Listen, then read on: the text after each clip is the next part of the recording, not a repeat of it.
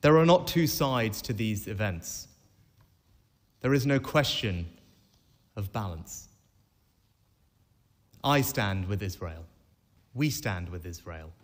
The United Kingdom stands with Israel against this terrorism today, tomorrow, and always.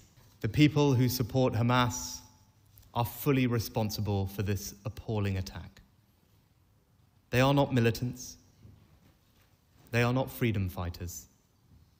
They are terrorists. Their barbaric acts are acts of evil.